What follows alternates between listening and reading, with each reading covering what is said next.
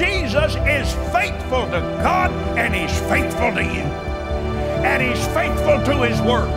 So get that other junk out and get the Word in and get that in your heart, get it in your ears, get it in your eyes, begin to say it with your mouth. He'll be faithful to every word you say.